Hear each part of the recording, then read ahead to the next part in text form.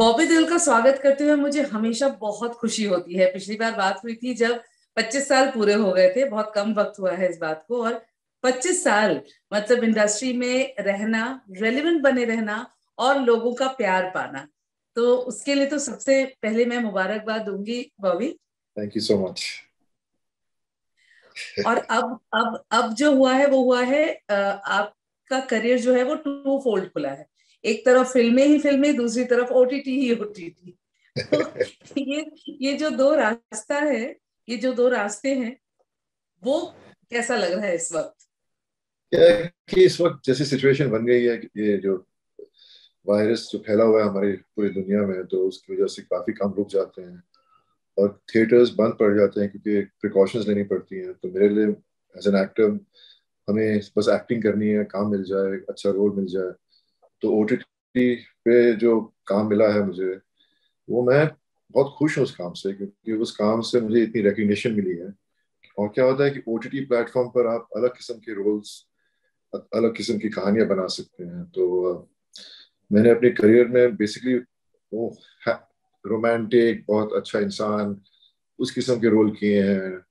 और मतलब हीरो है तो अच्छा ही हाँ, होगा। हाँ वही। हीरो की कोई कमी नहीं होती वो रियलिस्टिक नहीं थे वो लार्जर देन लाइफ कैरेक्टर्स थे फिर अब ओटीटी प्लेटफॉर्म पे चांस मिलता है कि रियल लाइफ कैरेक्टर्स मिले खेलने के लिए या रियल सिचुएशन जो हमारी दुनिया में हो रही है उस पर बेस्ड कहानियाँ मिले उस पर काम बनता वो वैसी फ़िल्में बनती हैं वैसे वेब सीरीज़ बनते हैं तो तो एक्टर के लिए बहुत चैलेंजिंग हो जाता है।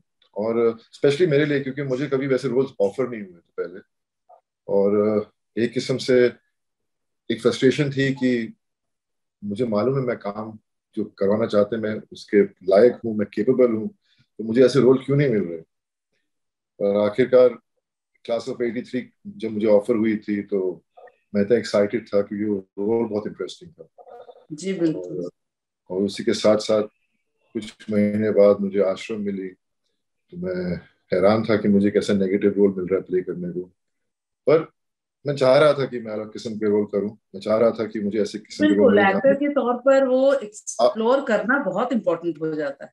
हाँ out of my comfort zone थे characters it was fun and people ने इतना अप्रिशिएट किया इतना अप्रिशिएट किया कि मैं सबको मतलब दिल से इतना मतलब सबको थैंक यू बोलना चाहता हूँ क्यों उनका प्यार हमेशा रहा है मेरे साथ मेरे फैंस का और जो मेरे नए फैंस बने हैं। और वो एक ताकत बन गई मेरे अंदर और पता नहीं, मैं हमेशा सोचता रहता हूँ कि मैं और अलग क्या करूँ, क्योंकि अब मेरी ऑडियंसेस तैयार है मुझे अलग किस्म के रोल्स में देखने के लिए। And I think and it all is it's all thanks to O T T platform because इस पे कितने सारे नए यंग टैलेंटेड लड़की लड़की, लड़के, लड़कियाँ आ रहे हैं और, अपना काम वो शोकेस कर पा रहे हैं। तो in a way, it's been a great experience. This second phase second of my phase life. of your life. Yes, yes. तो बॉबी सूट कर रहा है या बाबा निराला सूट कर रहा है अभी क्या ऐसा तो कुछ नहीं है अभी वै, वैसे मैं घर में सबसे छोटा हूँ तो बॉबी बाबा ही अच्छा बाबा ही है तो हाँ मतलब मैं अपने बच्चों में मतलब अभी तो मेरे बच्चे हो गए हैं अब मैं छोटा नहीं रहा घर में लेकिन काफ़ी सालों तक तो मैं ही छोटा था घर पर जी तो एक बात बताइए जब इस तरह के किरदार ऑब्वियसली आपके घर में इतने सारे क्रिएटिव लोग हैं पापा हैं भैया हैं तो सबका एक ओपिनियन होता है। सबने आपको जब उस रूप में देखा तो एक, एक मतलब मैं धर्म जी की बात पूछना चाहूँगी पहले कि उनका उनका क्या कहना था? क्या कि ये ऐसा कैरेक्टर था आश्रम का कि बहुत नेगेटिव था।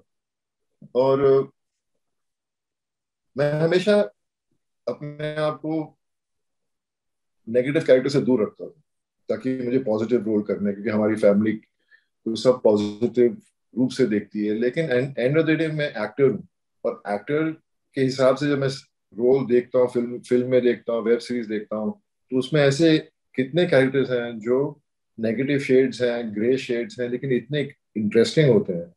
तो एज एन एक्टर मुझे, मैं चाह रहा था कि मैं वैसे रोल करूँ। तो फिर जब पापा को मैंने जब लगी वेब सीरीज़ तो पापा को इतने फ़ोन कॉल्स आए इतने फ़ोन कॉल्स आए।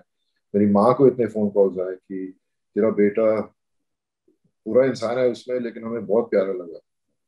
और मतलब मैं खुद हैरान था कि इतना नेगेटिव रोल को इतना पॉजिटिव रिस्पांस मिला है। पॉजिटिव रिस्पांस मिला और ऑल्सो लोग कभी सोचते नहीं थे कि बॉबी देओल ऐसा रोल कर पाएगा। हाँ मतलब वो कभी सोच भी नहीं सकते थे। और क्लास ऑफ़ 83 मैंने की तो लोग कभी सोच नहीं सकते थे मैं वैसा रोल करूँगा। तो जब लोगों ने देखा कि मेरे में है वो टैलेंट मेरे में है वो बात जो वो ऐसे रोल कर सकता है तो मैं बहुत खुश हुआ। मैं चाह रहा हूँ कि मुझे और भी जो काम आगे करूँ, जो काम मिले, थोड़ा वेरियस किस्म के स्क्रिप्ट मिले। ये नहीं कि एक टिपिकल टाइप कास्ट हो फिर से, क्योंकि हमारी इंडस्ट्री में एक्टर ज़्यादातर ज़्यादातर टाइप कास्ट हो। टाइप कास्ट हो जाते हैं। तो आश्रम थ्री थ्री की भी तो शूटिंग हो गई है। लोग आश्रम का इंतज़ार बहुत ज़्यादा कर रहे हैं। मैं क्लियर करना चाहता हूँ एक्चुअली आश्रम थ्री नहीं है आश्रम सीज़न टू है। इन्होंने एम अच्छा, नहीं वो सब सब कंफ्यूज है इसके बारे में क्योंकि क्या किया था इन्होंने कि सीज़न वन का चैप्टर वन चैप्टर टू बनाया था। तो आप चैप्टर थ्री कह सकते हैं इसको लेकिन सीज़न टू है।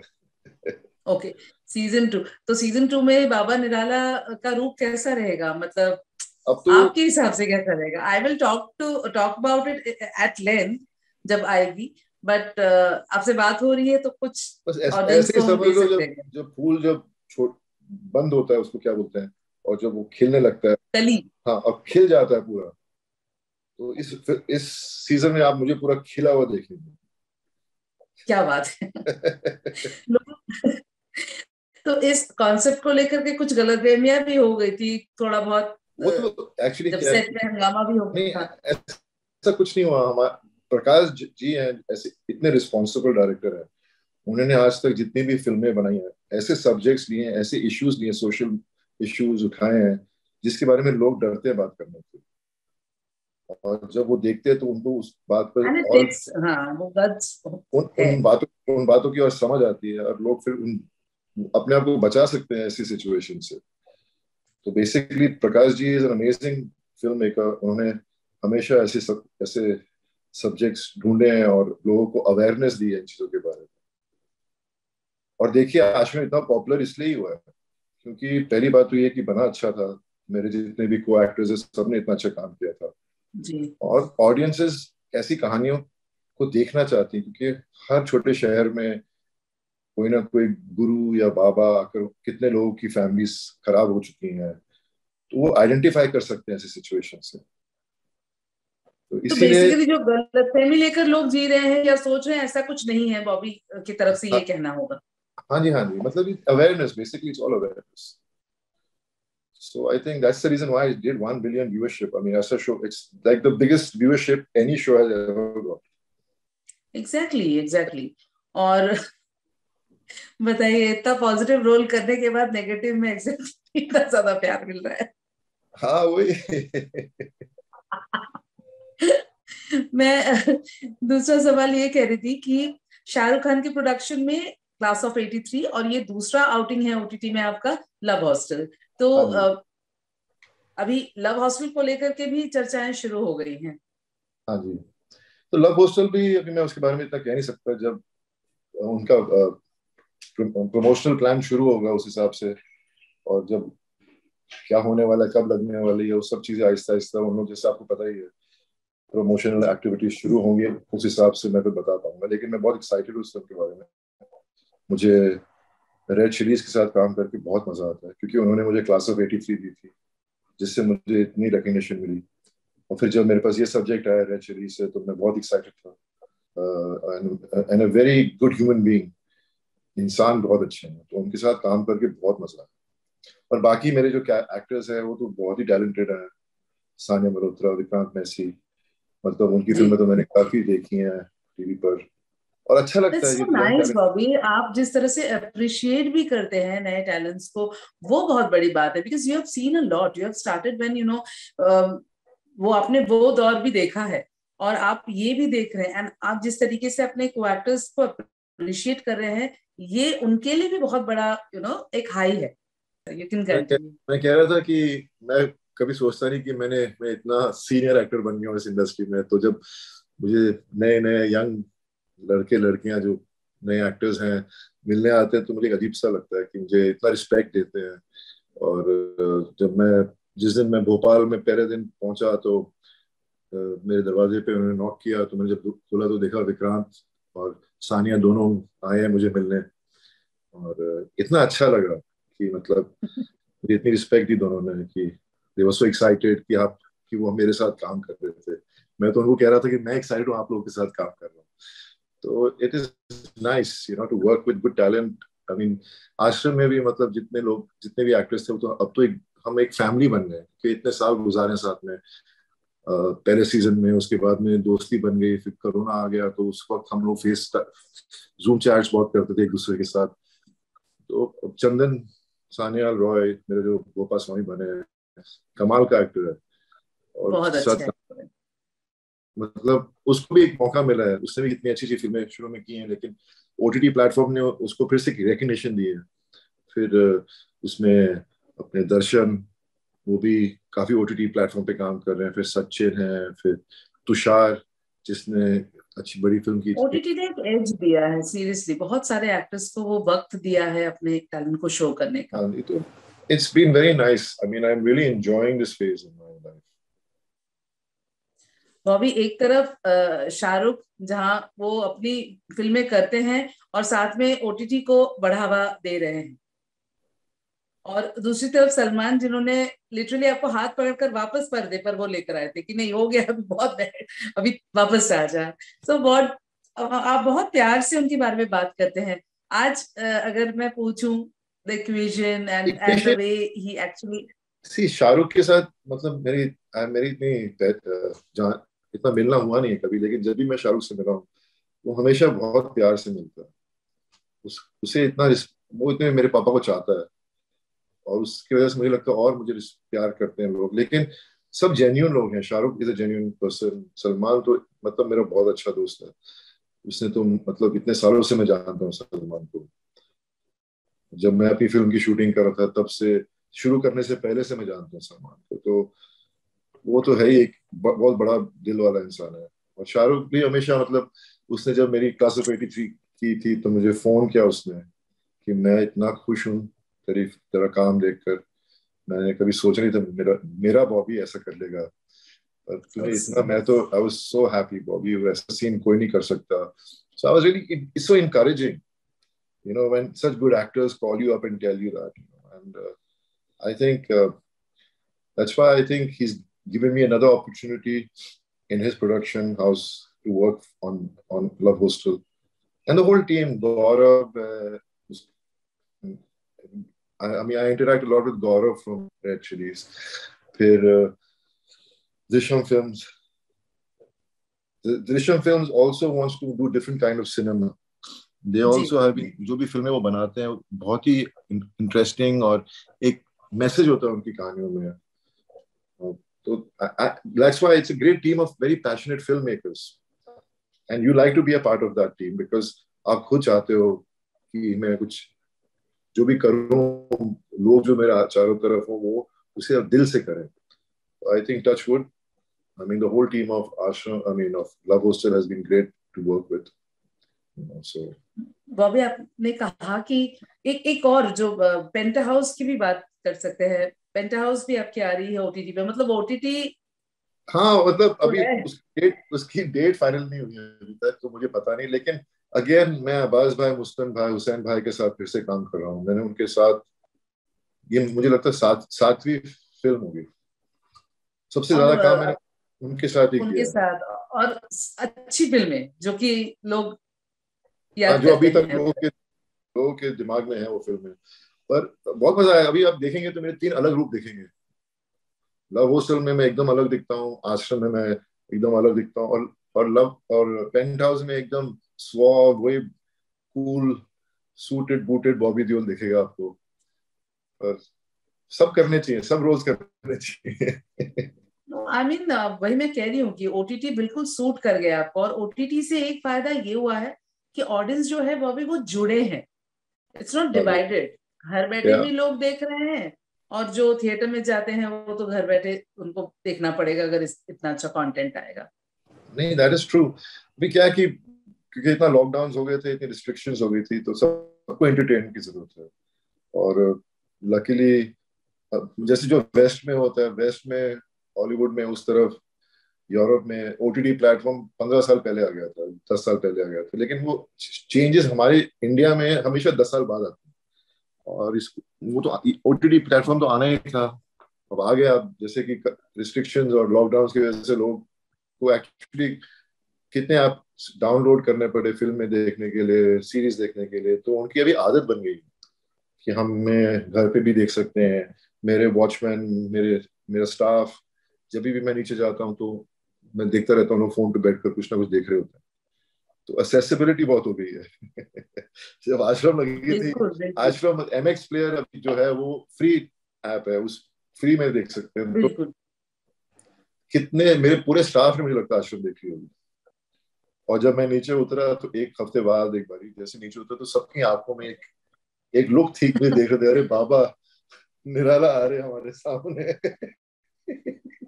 वो पहला रिएक्शन आपको घर पे ही मिल गया। हाँ तो और मुझे उन्होंने आकर कहा भी मेरे स्टाफ मेंबर्स ने मेरे सिक्योरिटी गार्ड्स ने बोला कि सर आपका शो बहुत अच्छा लगा। कमाल के लगे आप इसमें। तो मैं बहुत खुश हुआ कि कम से कम जी मासिस एम एक्स प्लेयर की वजह से मासिस तक पहुँच जाता है सब कुछ which is a very good thing right भी कई तस्वीरें देखी आपके बेटे के साथ और वो बहुत ही प्यारा दिखता है। तो अभी तो खैर वो भी you know next generation is coming up what he has to say आज की दौर को आज की फ़िल्मों को लेकर क्या डिस्कशन थोड़े बहुत अगर होते मैंने एक्चुअली ना मेरे घर में हम हमारा इतना फिल्मी माहौल नहीं रहा है। और क्या मैं चाहता हूँ मेरे बच्चे पढ़े लेकिन हम कभी कभी फ़िल्में देखते हैं साथ में बैठ के डिस्कस करते हैं, और उनका उनको जो लगता है अच्छा कभी कभी आप सरप्राइज़ सरप्राइज़ हो जाते हैं कि ये अच्छा इन, इस जनरेशन को इस, ये चीज़ें अच्छी लगती हैं। दैट इज़ अ थिंग आजकल की generation very broad minded people. They like to ex- they accept everything, but they want to see proper job and proper films made, web series made. ऐसे नहीं, कुछ अच्छा नहीं बनेगा तो उसकी भी बुराई कर देते हैं, लेकिन पर उन लोग का I think that's why everything is changed so much straight forward very straight forward या they they are straight to the point ये है तो ये है वो है तो वो है। ये नहीं कि घुमा फिरा के बात करनी है। जी बिल्कुल। आपका परिवार ऐसा रहा है शुरू से बिकॉज़ ऑफ़ धर्म जी बिकॉज़ मैं बहुत ज़्यादा मैं भी बहुत ज़्यादा चाहती हूँ क्योंकि मैं सिर्फ़ कहूँगी मैं उनको चाहती हूँ तो ये तो पूरी दुनिया चाहती है उनको। लेकिन जो एक जनरेशन टू जनरेशन किस तरीके से आप लोग इवॉल्व हुए हैं। फिल्मी होने के बावजूद फिल्मी नहीं है। इतने पार्टीज़ में जाना देखा नहीं जाता।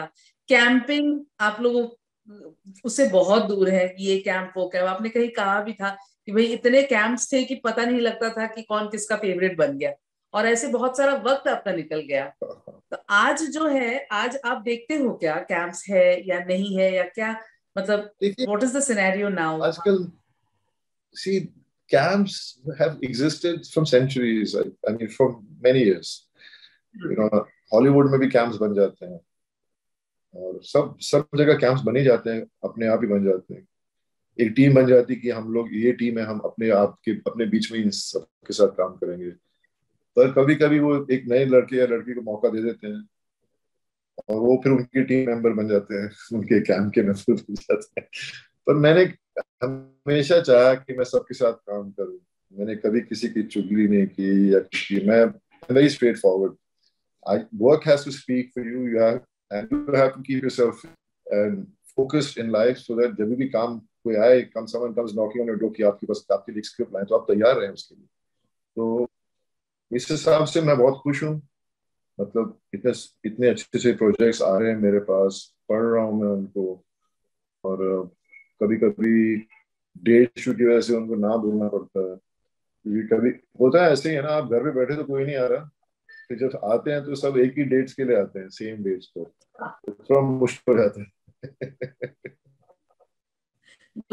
लेकिन बहुत सारा काम आना, बहुत सारे काम के बीच में रहना is always good always it is it is मेरा बस, मैं तो हर दिन सुबह उठता हूँ और बस प्रे करता हूँ कि मुझे आज बिज़ी रखना भगवान। मुझे घर पर नहीं बैठना।